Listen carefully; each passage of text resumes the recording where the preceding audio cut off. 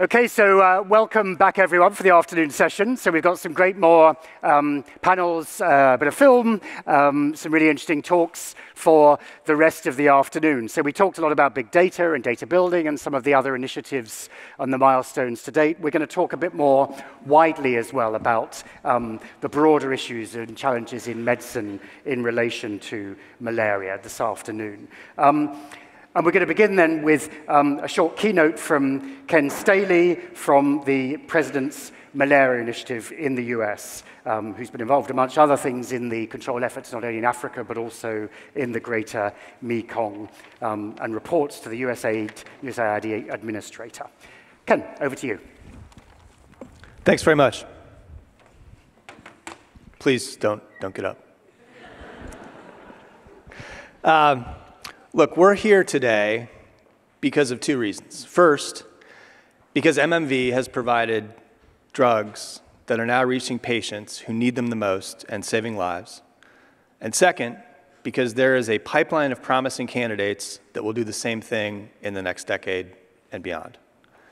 And those two things make me very bullish about eradicating malaria within our lifetimes. Now, when it comes to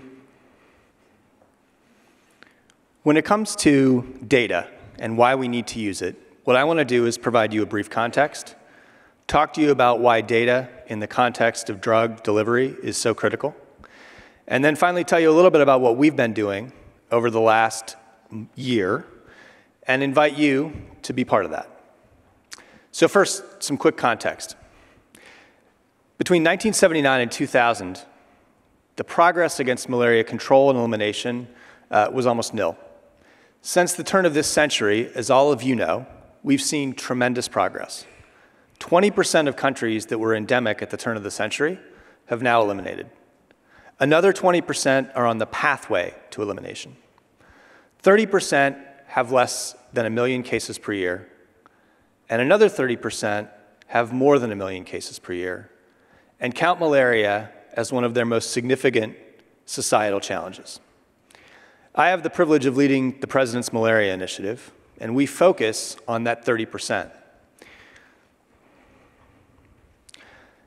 Over the last 15 years, we've partnered with 27 national malaria control programs that represent about 90% of the world's malaria burden, and dedicated $8 billion in resources to technical expertise, implementation in partnership with NMCPs, and the purchase of life-saving commodities.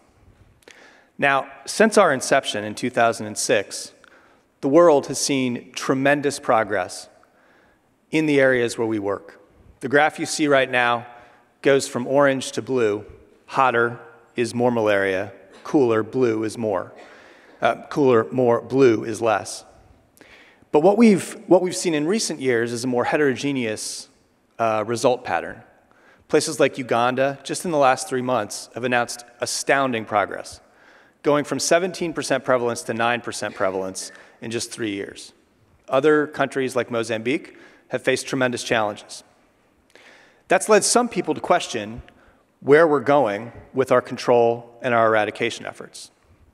Now, I had the pleasure of being part of the uh, Lancet Commission on Malaria Eradication. We released our report just a few months ago. One of our key conclusions is that malaria eradication within our lifetime is possible. But another one of our conclusions is that what we've done so far needs to change because what's gotten us here won't get us to the end. And one of the keys for us will be data, making more data available, sharing that data, and then executing based on that data. So, how can we start thinking about data? Well, for me, it's quite simple. We're an operational organization in the field with almost 1,000 people in 27 countries. We need to make sure that we have the right drug in the right place at the right time. So let me give you a very specific example of where data becomes critical for us and where we know, as a result of our efforts over the last 12 months, we can be better than we were last year. All of you are familiar with seasonal malaria chemoprophylaxis. It's quite simple, actually. We go to places where malaria is seasonal, and we try to give four doses of antimalarials to kids under five to make sure they don't get malaria during peak transmission season. So, how do we do that? Well, the first thing we can do is we can look at an epi curve. Now, with the data we're aggregating, we can also layer on weather patterns. And with those two pieces of data, we can then start to think about when a campaign needs to start. Once we know when the campaign starts, we can know, we can start thinking about when we need to deliver the commodities to the point of execution, and that's two weeks before. We also need to think about when we need to get the commodities to the country itself. We know that's actually six weeks before the campaign starts, because we need to make sure we can clear customs and address any quality control issues that we have. Now, we also know that it's going to be 48 weeks before the campaign starts that we need to start production. And we know that even a month before that, we're going to need to be placing our order, thinking about donor commitments, shelf life, and stock on hand. Now, all of that together means we're going to save a life. And we know that we can improve on what we do now. Sometimes we start campaigns a little late. Sometimes the drugs aren't in the right place at the right time. But by aggregating all this data together, we can actually make much more accurate predictions of how we can deliver that right drug to the right place at the right time. Now, in the malaria community, just as in many other communities, we've had siloed data for quite some time. Sometimes imperfect, but oftentimes siloed and, and very, very rarely shared. Our goal over the last year and in the coming years is to break those silos down. So there are a number of ways that our integrated data can provide value. First, we can actually figure out where we need to target better. We can also think about where we can do better training. We can think about how supply chain surety can be enhanced. We can actually think also about what types of drugs are needed where. The bottom line data sharing can enhance dramatically the way in which we operationalize products that are produced by people in this room. And that's critical for us as we try to bend the curve further toward eradication. Now, I've told you a little bit about why the current context calls for more data sharing. I've also told you, I've also given you a few examples of why data is so important for, our, for us in very concrete terms. Let me tell you about what we've done over the last year. So first, we've integrated at the global level. Along with our colleagues at the Global Fund, we represent about 90% of external funding for malaria eradication around the world. We've taken it upon ourselves to harmonize all of our financial terms and integrate our supply chain data. That's different than we've had any time in the past. That means this year, when the Global Fund grants go out, people will have a comprehensive picture of how aid is being spent in countries. It's a, it's a big step forward for us in terms of allocating resources efficiently. We're also partnering at the local level. So with NMCPs over the last 12 months, we've been collecting data on a quarterly basis from routine systems and integrating it with global data in order to provide visualizations and dashboards for management. We're just at the beginning of our journey, and we all know that we need to develop capacity. So in order to develop that capacity, we have about 20 data scientists now at the President's Malaria Initiative who are working to create a shared platform for data integration and visualization across a number of different data streams. And in addition to that, in each of our 27 countries, we're embedding a PMI data scientist with the NMCP to help, to help enhance data quality and data use over time. Now, we have a long way to go, and we've just taken, we've just started taking steps to share that data and to break barriers down. But I want to actually make sure that we all understand what our target ought to be. Our target ought to be open data. We ought to be thinking about data as a common global good, one that actually is shared because we all have a shared goal of eradication. Now, the polio eradication campaign, I think, gives us quite a bit of, uh, quite a bit of data for us to ponder. In 2012, at the World Health Assembly, there was an emergency resolution on polio eradication. Among its critical uh, components was a call to share data more effectively. By 2013, there was a global compact on data sharing.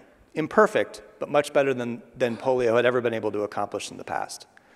Much of the progress that's been, uh, that's been occurring in polio eradication since, I believe, is because of that programmatic and epidemiological data sharing. We in the malaria community can do just as well and even better. So I'm here today to tell you a little bit about how you can get involved. First, I think it's all of our duty to go and talk about why data is so critical to our effort and why open data is so critical for us in the, into the, into the, uh, in the coming months and years. And second, I want to invite every one of you to talk to me and talk to anyone you know about ways that we could share data better. We're building a platform right now. We welcome collaboration, and we welcome everyone in this room to, uh, to join us on the journey. So thanks very much.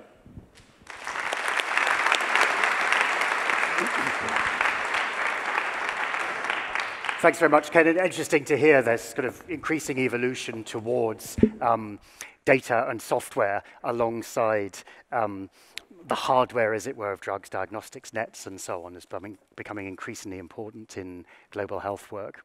So we're going to move now to a session to talk very much about endemic country solutions. And we're going to have a series of short presentations and then uh, hopefully some time for a little bit of discussion as well, um, building up on that. Um, so we have Elizabeth Chizema, um, uh, a very long-standing, very experienced malaria manager who's now um, working both for the African Leaders Malaria Alliance and also Zambia's own End Malaria Council. Um, Elizabeth, let's start with you.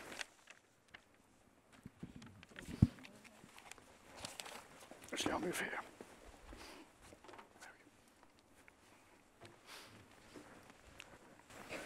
Thank you very much. So I'll talk about the long last mile and the challenges that we continue to face. So really taking it into context of a Zambian situation is that we have trained community health workers to make a diagnosis of malaria using rapid diagnostic tests and to be able to treat uncomplicated malaria with ACTs. Unfortunately, when malaria becomes severe, there remains a gap at community level because we cannot treat a very sick child with oral medication. And when severe malaria is left untreated, the result is quickly leads to death. And for Zambia, we have seen quite a lot of barriers to access to the services, especially for severe malaria. Amongst these is that people are unaware of the signs and symptoms of severe malaria. And a lot of the severe malaria then remains, uh, is not reported or it's missed at community level.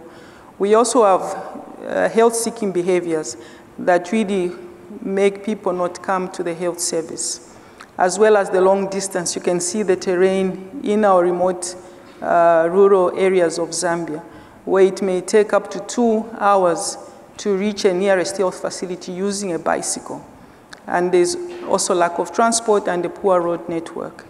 We also noted that even at, at the health center level, we did not have adequately trained health staff as well as non-availability of medication for severe malaria. And therefore, working together, we came up with innovative strategies of a community-driven approach to mobilize access to malaria treatment in the very remote, hard-to-reach areas of Zambia and working with MMV support financially and technically with also all the other partners, including the district health management team, the national malaria program, and the other partners, we came up with a pilot study to show that severe malaria could be managed, at least before referral, at community level. And therefore, what was our approach? We looked at community interventions, we looked at health facility intervention, as well as collaboration at the district level and the national level. So we're able to train community health workers, really looking at the low literacy levels. We looked at the appropriate way of training community health volunteers to be able to identify signs of severe malaria and be able to administer rectal artesunate and quickly refer the patient to the nearest facility using trained emergency transport system of bus, of ambulance, uh, bicycle ambulance riders to then support the mother or the parents or the caregiver to go to the nearest facility where they were able to access a trained health uh, worker and available uh, injectable artesunate for severe malaria. We also try to raise awareness in the communities because a lot of the children were left unattended to or untreated in the community level. And we ensured that both rectal artesunate and injectable artesunate were readily available at the health facility. And we looked at eight health facilities in a rural district called Serenje, and we able to look at, and we reached about 54,000 uh, community members. So what are some of the achievements or results?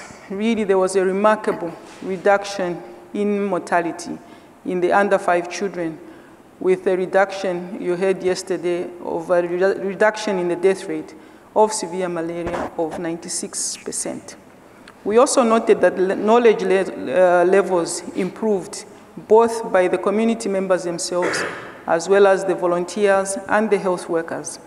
You will also note that all those children who were diagnosed with severe malaria were able to be referred to the health facility where they received uh, appropriate treatment for severe malaria management and were able to, to give feedback back to the community about how they were treated.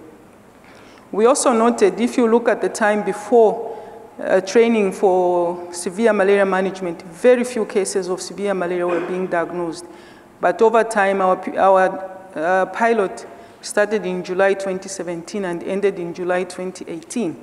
You will note from the graph that severe malaria diagnosis increased, so we're able to identify all those children that were being missed in the community. However, the mortality reduced. Previously, about 18 children died in a year. During the study, three children died, but with increased number of the diagnosed cases of severe malaria. And what are our next steps? Really working in partnership. We've now been able to scale up uh, the project to cover three additional districts. So we are now in four districts, and we plan to also scale up to the fifth district. In addition, the Ministry of Health has now introduced rectal in the policy and is committed to scale up nationwide. And we are integrating these in already existing systems instead of developing parallel systems where we are really looking at the national ICCM uh, programs to ensure long-term sustainability. And as usual, financial resources are required to be able to scale up. And I'm happy to report that as a country, we have now set up an initiative with support from African Leaders Malaria Alliance and the RBM Partnership to End Malaria to set up the End Malaria Council, where we are really looking at mobilizing resource for malaria, advocating to prioritize malaria, and ensuring that we implement our plans and remain accountable. So we are hopeful that we will very soon be able to reach the whole country. Thank you.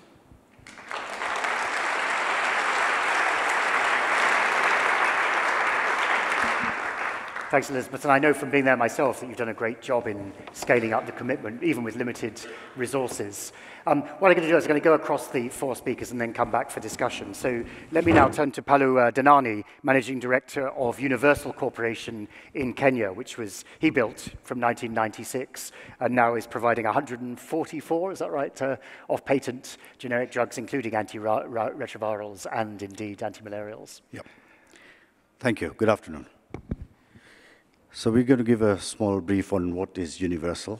Um, it's a quality company based in Kenya. And today, these are the things we're going to talk about. Uh, MMV's local support for, uh, support for local production. I think this is the first time it has happened. It's in Africa, for Africa. And I guess, like Kelly said in the morning, it's time that we maybe look at such things because it's very clear that wherever the product is made available near the problem, access is always better. So we're just going to talk about some, uh, I am going to talk about some issues that we have, how to empower Africa, what are the initiatives we have taken, a few factory overview and history, and the manufacturing capabilities, including the quality management system. Uh, I think this is something we all know. This is a collaboration between us and an Indian company, uh, together with, in collaboration with MMV for the dispersible sulfadoxine pyrimethamine for IPTP. I don't want to bore with the rest of the data. I think most of you are aware of this. Uh, in addition to that, we have the other products that we are going to submit for PQ submission uh, later on in the year, up to March or April next year. and getting approvals for the malaria, including some ARVs. These are only, I mean, one ARV and the rest are malaria products. So we know that majority of the deaths happen, 90% are in Africa. And there are only two or three manufacturers who are able to supply as at now. I guess we need some help in how to develop the continent where the problem is, uh, not only for malaria, but maybe the other TB and HIV as well. There are key challenges as an African manufacturer. One is skilled, experienced resources. We have a lot of brain power in terms of manufacturing in Africa. The only problem is to get them to document all the issues is a big gap. That's what we're trying to fix. The regulatory compliance, there are too many inspections. I think we receive almost 20 inspections in a year. And most of the year round, you're on just in inspection mode. And the support to Africa. I mean, we have had good support in terms of the UN organizations recently signed a pact to support local manufacturing. But everything is looked at about in price only, forgetting that certain, men, I mean, majority of the eastern countries do have some export benefits given to their exporters. And sometimes because of 1 to 5 percent, we actually lose a contract. And that 1 to 5% does not help in developing capacity.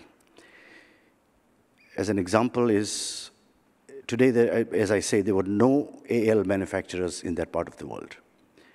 And right now, there is a lot of product available in the market which is not regulated, or rather, we don't know the quality of that. But it is going to bring challenges. All the hard work taken Let's hope it doesn't go to waste and come back with substandard product and all that. So as an example, I just mentioned this, there are some levies that we are charged by our own governments, which I think government will look at, but there are also subsidies. So at the word go, we are already 7 to 17% more expensive than our counterparts outside the continent. Um, so as I think these are some normal things.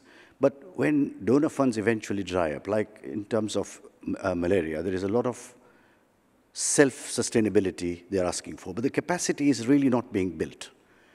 Maybe, somehow we need to see how we can build capacity in Africa so for the long-term benefit of the patients.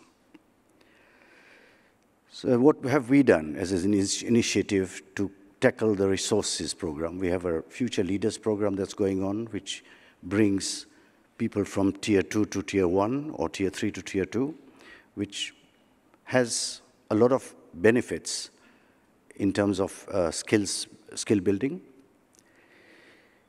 That's just a quick photograph of what we started a year ago and uh, six modules that we want to go, the people to go through.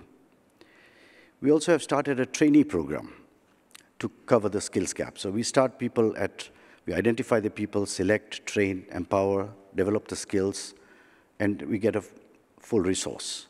So we started this program two years ago, and the few of the trainees that were on board. We start with every section. It's not only in QA or QC, it's all these people. So we started with 78 recruits. Today we have 51. 27 have left. Now, these 27 have left, have all found a better job. And we could not absorb them because it's a training program, and all these trainees have actually benefited by getting a better job when we cannot onboard them. The first thing they ask you on your CV is what is the experience you have. So all these trainees have actually got a job outside Universal. And our way forward after the training program is to optimize all the resources, uh, review, simplify all the procedures, and get all-time readiness for delivery. And I mentioned this, that whatever product is manufactured nearer the cause, it's always delivered on time. And there are so many examples we can give you from Kenya that we have supplied goods in a very short time. Like delivery to Zambia, it's 10 days, Malawi is seven days, Rwanda, Burundi, a day. Whereas if it's from outside the continent, which has currently been happening, it takes a long time. And as we saw, sometimes you have to plan a year in advance. But this can be done in phases. We, stocking will not be there, and a lot of economic other benefits will come in through.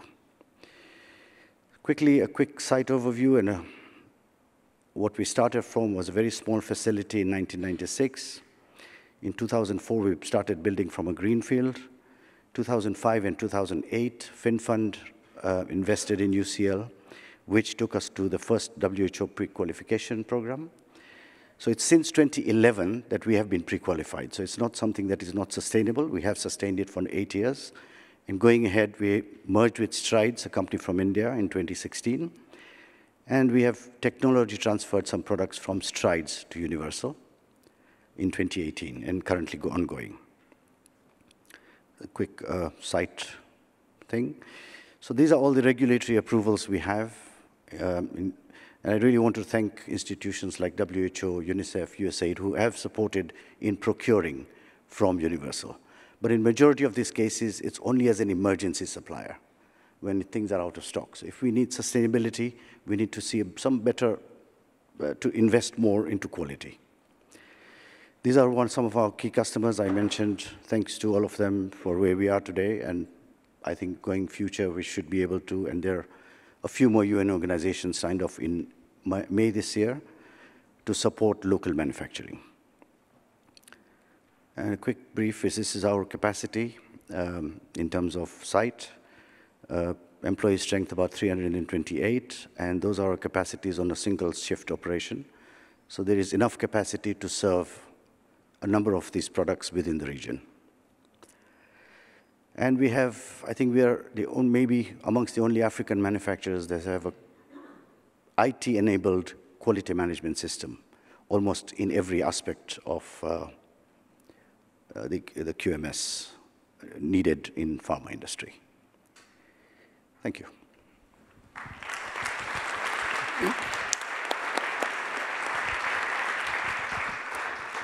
Thanks, Paolo. And so now uh, Gonzalo Domingo, um, who heads the Malaria Diagnostics Partnership at PATH. Thank you. Um, I'm going to talk about um, diagnostic tests that provide access to um, drug treatment, to malaria case management. Um, the first breakthrough we had in malaria for laboratory-confirmed diagnosis of malaria was microscopy when Alphonse Laveran um, first observed the parasite in the red blood cell under a microscope. It's important to recognize that the microscope is still a very valuable technology and very valid and robust technology to use um, in, in malaria endemic countries and still the mainstay. And then nothing happened until the 1990s with the development of the lateral flow test and the discovery of um, malaria antigens that we could use as diagnostic markers. This was a significant breakthrough. Um, but we had problems initially, in a great program by WHO and FIND really tried to resolve the quality problems of these tests and helped push forward the adoption to the level that we just heard Elizabeth talking about how it's the mainstay for diagnosis of malaria in Zambia and many other countries. Um, now, in the 21st century, actually a lot has happened, and the private sector have come forward and made new research use only and um, diagnostic platforms, including more sensitive tests for, for malaria on the, on the, on the rapid test, um, on the RDT platform, but actually also molecular diagnostic tests that allow us to look at um, malaria infection below that pyro pyrogenic level and understand the epidemiology um, better um, in, in areas that we're trying to eliminate malaria. Um, so it's a very exciting time from the perspective that we have tools to really understand what's going on and um, measure these new strategies that we're looking at to eliminate malaria or reduce um, the burden of malaria in countries. Um, Still, our limitation, though, and it's important to, to, to, recognize that, is that we still don't test enough people with microscopy and with the current RDTs to treat them properly. And until we do that more effectively through innovations that Elizabeth, for example, just ex explained, um, we're not going to be able to realize the, the impact of these new tools that we're developing. Another case where um, access is limited by the kind of diagnostic tools and, and, and options that we have is for case management of Plasmodium vivax. Um, Plasmodium vivax as a parasite, the, the challenge we have is that it can hide in the liver and then come out sequentially in these new bouts of, of, of um, sickness called relapses, and each bout, bout of re each relapse can actually lead to further deterioration of, um, of the patient and um, an accumulated, accumulated morbidity and mortality actually equivalent to Plasmodium falciparum. And the only drugs that can cure this aren't the typical antimalarial drugs that cure the blood stage parasites, but actually are based off um, from this class of drugs, the 8-aminoquinolines. We have had a drug that can um, actually eliminate the parasite from the liver, um, since the 1950s. But the challenge is that it's either a 14-day regimen, and there's a couple of seven-day regimens that are, are used. But from an adherence perspective, you heard earlier today, that's actually very challenging to implement. And what we've, we now have um, quite compelling data to show that if you don't do um, directly observed or, or, if you just give out the primaquine dose, the efficacy or, or the effectiveness of, of primaquine is the same as not giving primaquine at all. So we're seeing a, a considerable challenge in getting that drug out.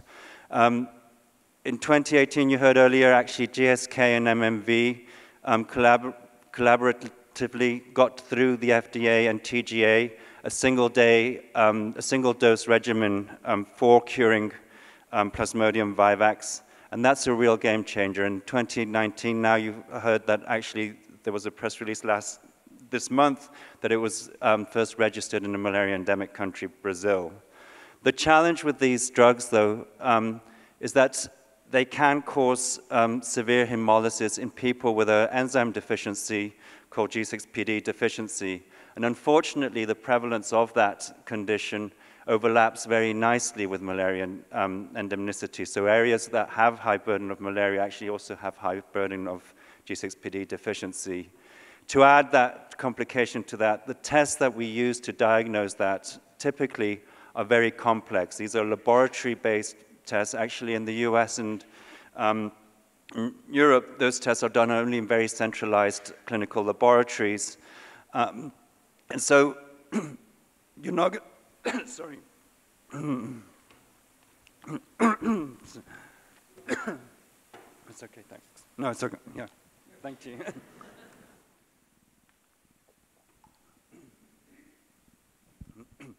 you're not going to get access to those drugs unless you can reduce that to a point of care, point of care test that um, is affordable and actually can work challengingly for an enzyme across multiple temperatures. And this year we saw actually the first product get ERPD approval that allows countries to use global fund, um, funds to purchase it, and there's more products coming online um, to, to be able to take this testing to the last mile and also therefore make primaquine and tafenoquine available. We still have to do some work to get this test through the stringent regulatory authority approval and WHO PQ, but it's very exciting that we now have a single day um, drug regimen for curing Plasmodium vivax and a test and more coming that um, will support getting this test out to the, to the last mile.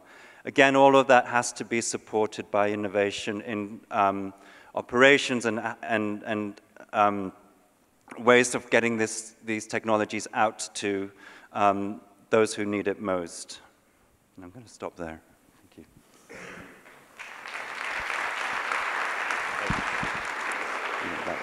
Thank you for the water. Ndiaye, Ndiaye, I get it right, Professor of Parasitology in Dakar, Senegal. Thank you, uh, Andrew. Um, good afternoon. Good afternoon. Good afternoon. Yeah, uh, first of all, I want to thank MMV for inviting me to this uh, very uh, relevant event celebrating the 20 years, but also ask me to share my experience about seasonal malaria chemoprevention, uh, particularly in Senegal, where we are conducting this up to 10 years old. So SMC uh, is um, intermittent administration of two uh, very old drugs, sulfadoxine pyrimethamine and amodiaquine, uh, at a therapeutic dose in order to reduce malaria illness and death.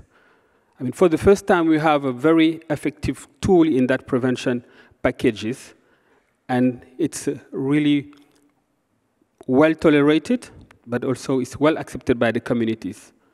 Uh, why that? Because it's a community-based intervention.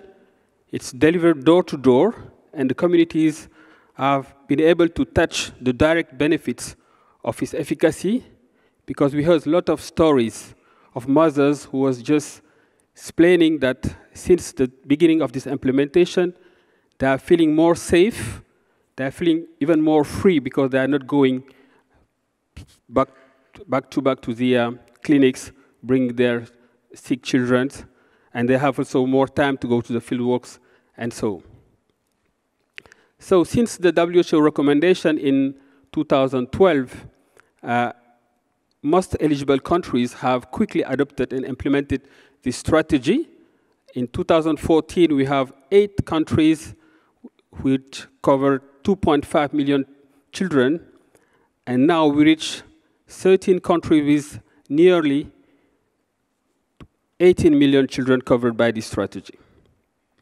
So we have documented that this strategy could reduce up to 60, between 60 to 80% of malaria cases and between 45 to 60% of malaria deaths. So it's very, very effective. My country, Senegal, is the only one who is delivering this strategy up to 10 years old. The reason is, uh, Ken was saying about the importance of data. So we've been able to document that children from five to nine years old was also suffering for severe disease, but also were dying from malaria. So that's why we uh, work since the beginning with the National Malaria Control Program, but also the Minister of Health, and we tried to, to the beginning, we went beyond the WHO recommendation, which just recommend this strategy to under five. And we also show that given this strategy, up to 10 years old was also very effective, and we also reach high coverage. So now, modeling studies has also shown that if we increase this strategy, if we give this strategy to the five to nine, we'll increase the impact and we'll reduce more, uh, uh, more cases and more deaths. And if you're going, expanding the SMC up to 10 years old, up to 10 years old also, increase the indirect benefits about threefold. So it's really important now to push the boundaries to increase the impact.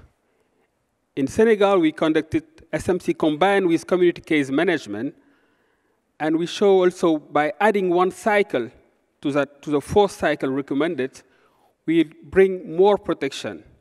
Because when we are targeting four, four months of treatment, uh, we are targeting like 60% of malaria transmission. But when we add one cycle, due to a lot of challenge of countries sometimes didn't know when to start, when to stop. So when you increase the time, the timing, maybe you will cover more, uh, bring more protection, and it will be for the benefits of the entire population, particularly in the young children. So my appeal is, what are you waiting for?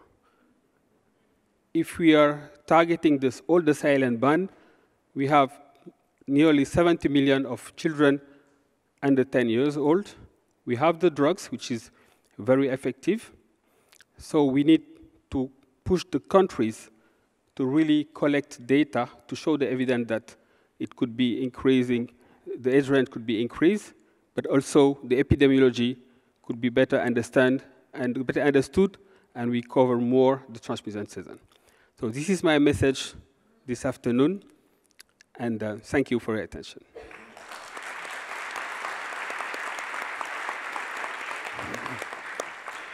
Thanks very much. Uh, so we've, we've um, got a few minutes for discussion, and we had a number of um, questions that we selected already based on uh, submissions from different folks. Um, maybe let's start with a high-level one, which is really, so we're reflecting on 20 years of MMV. So over that time period, what have you all individually identified as perhaps the biggest single thing that was missing or that was hampering access to medicines to tackle deliver, uh, tackle malaria? Jean-Louis, maybe you want to start. Sorry, say again. What's the biggest single hindrance that you've seen that's blocked better access to um, treatment for malaria? somebody told us this morning about maybe money, uh, because uh, um, we started, for example, this, this strategy, uh, seasonal malaria prevention, and we went forward before the manufacturers came on board. So we are facing some stock out, and country wanted, even some now, some countries want to go beyond, but they don't have enough support to order enough tablets, for example. So the other point could be also how to better analyze the profile, the epidemiology of malaria in their country, and to know who are really the, the hard-to-reach uh, children or hard-to-reach population, and to find a way to go there and, uh, uh, and to really expand the health system to reach all those uh, uh, fragile population. Okay, Gonzalo? I, I think, um, as I mentioned, um, we have to, to detect malaria cases, we have the right technologies with the RDTs and microscopy. So it is really about strengthening the systems to get out to those people who are suffering from malaria. I think we, in many countries, the gap between estimated cases of malaria and confirmed cases of malaria is still way too big. And you know, we can come up with new technologies, but until we narrow that gap, that's going to be a limitation to the impact we can have with any intervention. And there's a big structural gap, isn't there? Because you know, you're, even if you've got a treatment, but then your diagnostic comes up negative, then what do you do next? I mean, is there anything more that can be done to think about the systems rather than simply the technologies and diagnostics that would help improve access to care? I think that's a good point, and I'll hand it over. But Ken was talking about data, and the more we understand about what that gap is, how many people aren't coming up positive for malaria, and, and the more we understand um, what that, how that influences treatment, that's, you know, we need that information to be able to then inform smarter um, treatment algorithms for fever, for fever management. Palu. Um, my view is access is limited due to logistics, could be a major concern. In Africa, I think our tendering systems are also very long. Sometimes they're done on emergency basis, and to get product on emergency basis is not as easy when you're doing it outside the continent. So my view would be even manufacturing where the problem is could help reduce a lot of excess issues.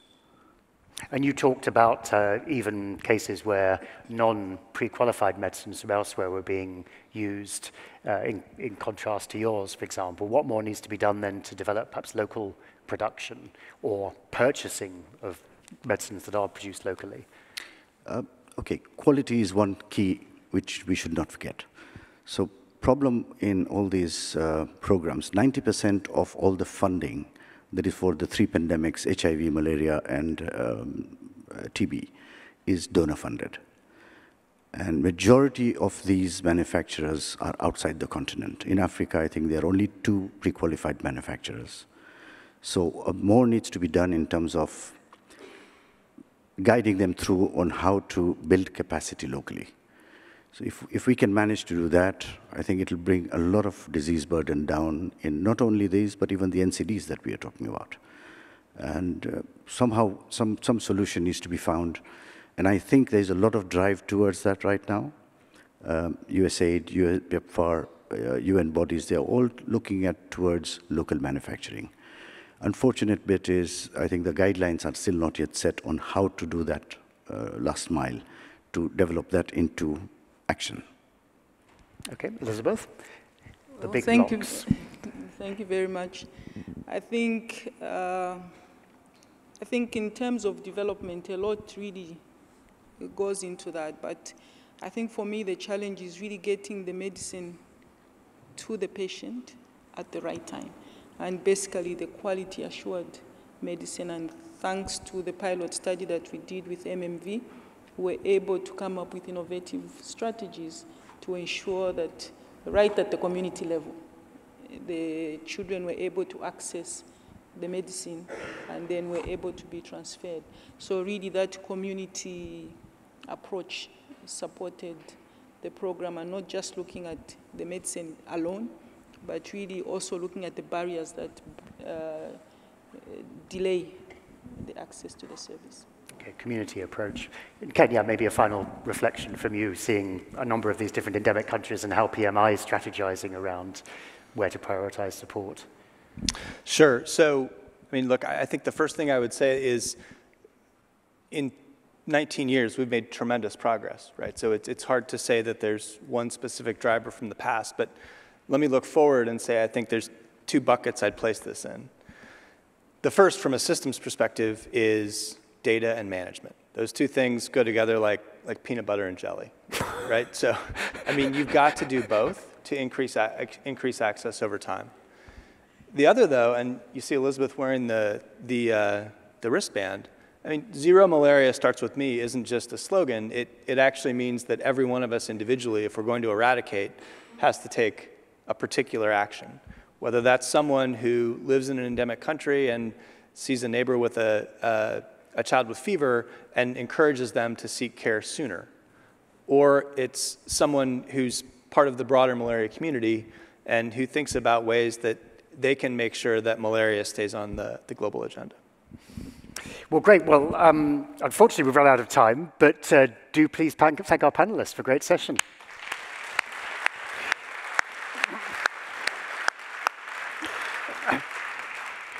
And now, drawing on those lessons, I'm going to ask uh, George Jagoe, um, who's the Executive Vice President for Access and Product Management at MMV, for some reflections on what we've heard, the successes in the field and the challenges going forwards. I'm not this oh, clicker works. Good afternoon, everyone. Um, just to thank you, as everyone else on my team has done, for joining us for this celebration, which is a celebration of our collective work. I'm in the interesting role of having to try and synthesize somewhat schematically a lot of different anecdotes and observations you've heard today, many of which have been excellent. And so I just, I hope I can do justice to what you've been hearing. And also, there were additional questions that some of you were kind enough to email to us. In the eight minutes allotted to me, I hope I'll touch on answers to most of them, but feel free to grab me uh, at coffee um, if, if, I've not correctly uh, addressed the questions you had. So, today you've heard everything from drug discovery, translating drugs from phase one to phase two, and then it's David kindly attributes to me, but it's actually an organizational philosophy, that final step of making these compounds into medicines that reach patients. So, what I'm speaking about briefly today is this section on the left where you can see in our continuum of where we want to go in the future. For right now, truthfully, in the control space, where many countries still are dealing with the heavy burden of malaria, dealing with unacceptable quantities of disease and death, the team that MMV has generated around access focuses on uncomplicated, severe malaria, relapsing or Vivax, and this last category, which really came to us somewhat late, in, in chemo prevention. But across those four dimensions, we are continuously asking ourselves, are the products that we're developing doing the right job? Are they being deployed where they need to go? And what are the obstacles that might stop them from delivering on maximum life-saving impact? That's the driving question for the Access team at MMV and our partners in the field.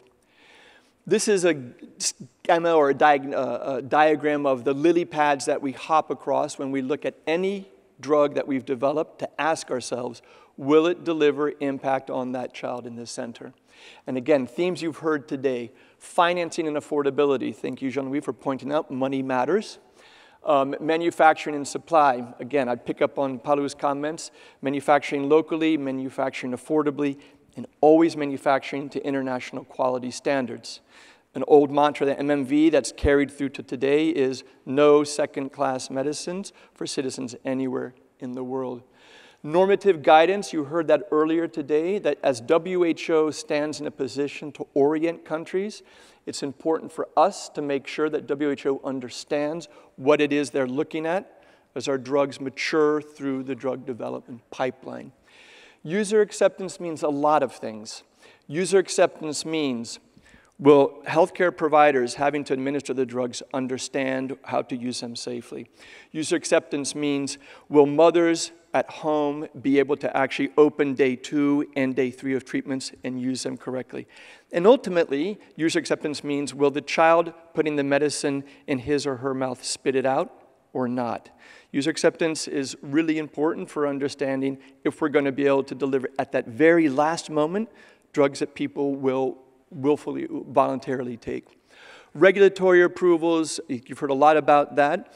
And it is important in the context of local manufacturing that we understand local regulators can be enabling partners for local manufacturing to hit international standards. If local regulators embrace the notion of no second tier medicines, they help, will help drive the bar higher for quality medicines manufactured locally or internationally. Market size and demand forecasting is something that matters a lot to our manufacturing partners. Recently, because MMV has had 20 years of working in this space, we actually have companies saying to us, what will the market be like? What should we think about? How much should we think of manufacturing? Which we find amusing because in the past we were chasing the big pharma companies' forecasting departments, but now they're looking to us because we've cultivated a knowledge of what should be the likely trajectory of medicines. And medical education is critical. So MMV has a strong medical department, very committed to being present in a number of settings facing country program managers, facing country policymakers, and actually working with clinicians to explain how medicines get used. Role of medical education is distinctly, it's divorced from a promotional positioning of products. It is ensuring that the best knowledge about how drugs work is communicated to those who actually have to administer these. So, my observation is it the best of times or is it the most infuriating of times? And the answer is yes and yes. Why is it the best of times? The pipeline is flush. Flush in ways I do not think anyone in 1999 would have imagined we could have gotten to. 1999 was a time of firing wooden bullets into, into combat. It was a disastrous time. If you can ever talk to an MSF physician who was working in Tanzania or Malawi or Mozambique in 97, 98, 99, the stories are heart wrenching. 60% failure rates, meaning you're putting pills in kids' mouth knowing you have a less than one in three chance of them actually doing something. Horrific for everyone. And so today we're talking about drugs that hit 95% effective rates. Incredible. And so that's the best of times. And the pipeline, as you've seen, is a bouquet of different drugs for prevention, for severe, for uncomplicated. That's thrilling, and it has been life transforming, world transforming. So, why is it the most infuriating of times? This is a slightly out of date, but doesn't matter. The trend is real. What you see here is um, the growth of artemisinin combination treatment. So, these are the workhorse drugs of uncomplicated malaria treatment. They're great. They're the ones that deliver 90, 95% effective cure rates. They've gone from 11 million, 76, rocketing up to over 200 million, and they've been hovering there north of 300 million treatments, quality assured ACTs being procured, not manufactured, but manufactured and sold every year. So that's awesome. That's one of the best of times because I know you can't do the math just like this, but if there's 210 million, 220 million cases a year, and almost 400 million treatments, we should all be saying, what's the big deal then? We're double the amount of people who are sick, so no one should be dying, right? Wrong. This is what's terribly wrong with the picture so far. What you see here is the estimated deaths from malaria nudging down on a very slow trajectory. Five, just under 500 million, mid 400s in 2016. So where we're at today in 2018, hovering around 430, 420, 430. The number doesn't matter, the specifics. 400,000, 400,000 people dying a year when we're having double the amount of drugs manufactured that actually need to be treating patients. So, this is what keeps us awake at night, saying there's a flat tire somewhere along that continuum of lily pads that I was pointing out. And it's not a single one, unfortunately. It's a good question that Andrew asked the panelists, and each of their answers has a grain of truth in it. So, our cry that gets us out of bed every day says, with an armamentarium of some of the best drugs for fighting and preventing malaria that we've ever had, we need to be doing a lot lot more. So today's celebration, today's a battle cry, today's a rallying cry. We're not there yet. We're far too far away from where we want to be. And so I'm just going to close with this reflection. It's not to put you guys in a bad mood or a downer, because I think there are, there are, there are things that are improving, but really, the work is beginning a new chapter of, of the march to try and address some of these gaps. And so on this road to impact, which David showed you earlier, and, and again, we live by this, all those different elements that we're considering, we're continually asking ourselves are there other spaces, other places, other partnerships that we should be looking at to help make this happen? And so, just a couple of observations, and I'll close on these. Number one, um, malaria is a primary care disease, basically. If you get it right, if you nip it in the bud, if you prevent it, first of all, if you if doesn't, don't prevent it, it slips through the cracks, the net's not used, the chemoprevention doesn't work, and someone gets it, you're still talking about a primary care disease which is as easy to treat, more or less, as a headache. If you can diagnose it and you have great drugs that cost 37 cents, what's the big deal? And so, if it's not working a large part of the time, are we the only ones facing this problem? And I would say something quite obvious here no.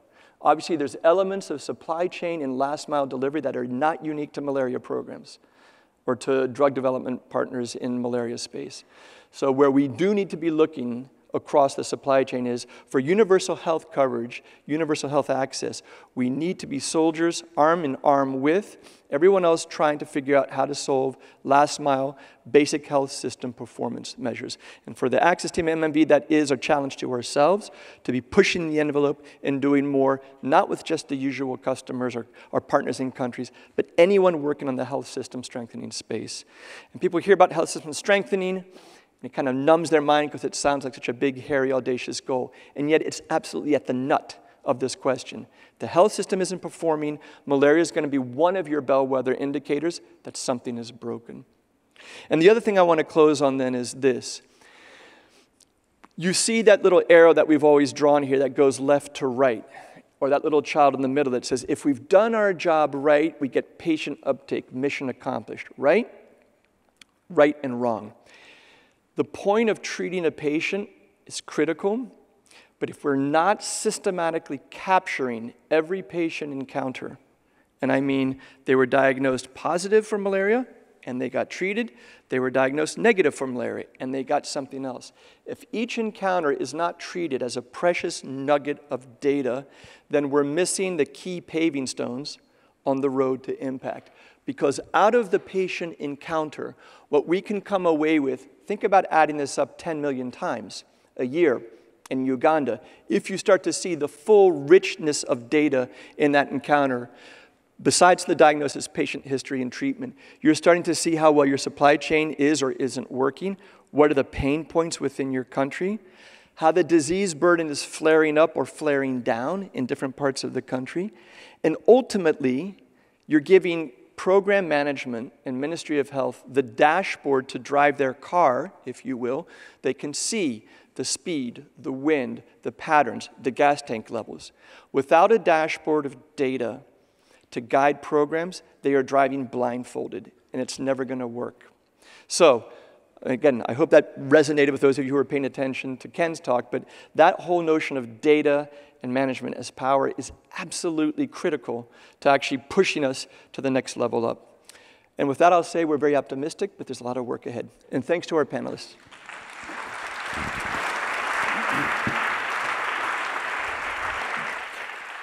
Thanks, thanks, George. And after that um, necessary reality check, we're now going to have a message, a little bit of optimism with a short film um, made with MMV's partners in Liberia called How Reagan Beat Severe Malaria.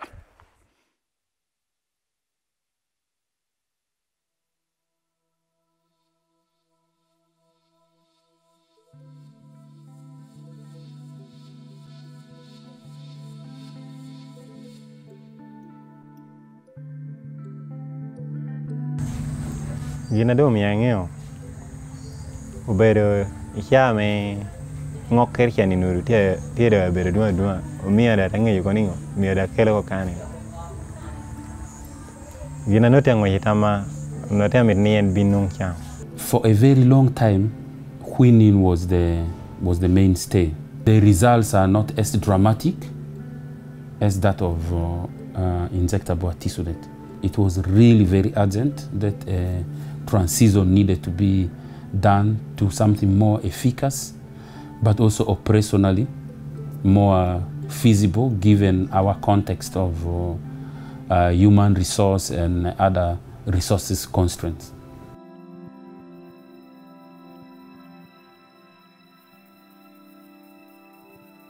The burden of malaria in Apac is great.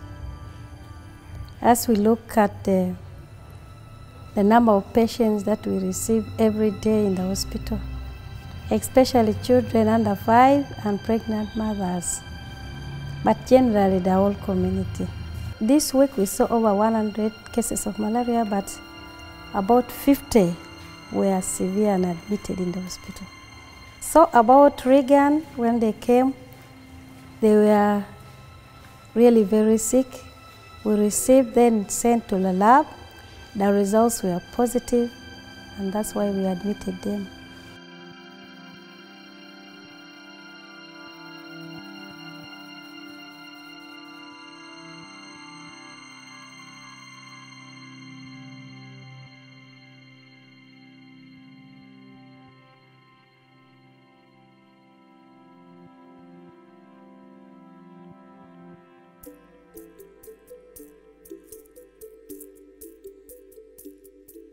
Uganda had just changed its policy from use of quinine to injectable artesunate for um, treat, uh, treating severe malaria in the country. So the ISMO project came in handy uh, to one, uh, fill gaps in terms of commodity, uh, commodity supplies to ensure that there's availability of injectable artesunate. But then also through the project, we're able to train health workers uh, on proper management of severe malaria using injectable artesunate. So that helped improve their skills uh, on malaria, severe malaria management.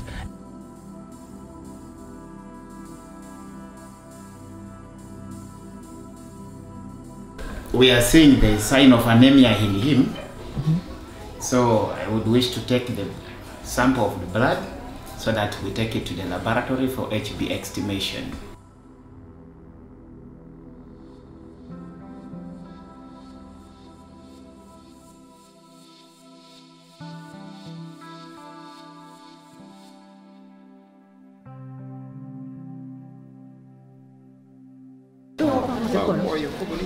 gamba kalisikilego mankupinyimbuke na presu mepeli malo tuara tuara mañ machi wangi ena mebeo lobo ping. Ame tamani log nine tun kan preso mañ machi wangi